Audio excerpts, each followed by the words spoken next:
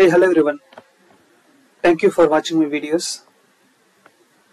I request you guys to please do subscribe to my channel, which will motivate me to provide the better content. And uh, please share your feedback in comment section. And uh, if I want to discuss on any other topics, please do let me know. I will try to do videos on those topics in upcoming days. In today's video, we will discuss about one important standard FM that is RV schedule check deliveries. Let's understand what is the use of this FM and uh, how to get the data from this FM.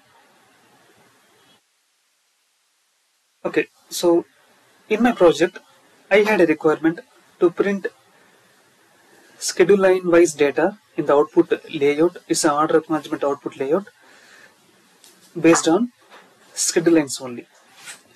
Suppose a sales order item contains five schedule lines, only three of them delivery has been created. In this case, I need to display only those three of schedule lines data in the output layout. I shouldn't display the rest remaining two.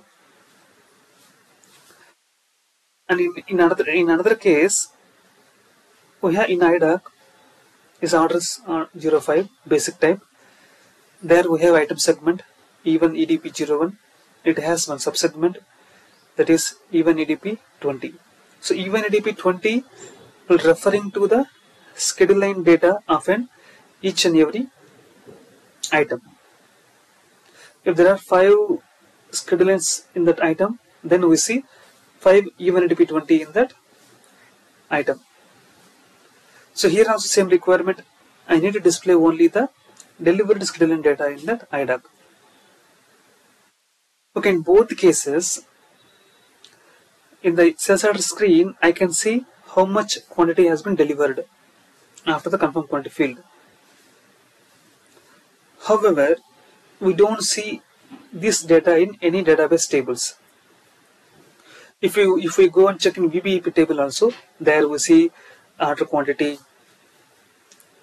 confirmed quantity, required quantity, and so on. But there is no evidence or fields available to store the delivered quantity in VBEP table level.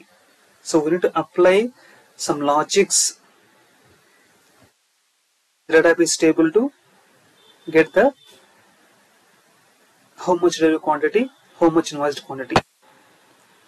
Uh, we can write a logic in VBFA table. In VBFA, we have field called RFMNG.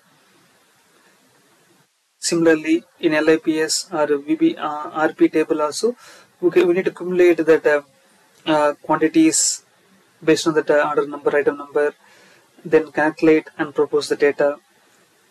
For this, we need to write a few piece line of code, and uh, we need to apply loop to get the data calculated. In this process, there might be a chance that we might get some wrong data. Avoid these uh, problems, SAP provided one standard function module that is RV schedule check deliveries.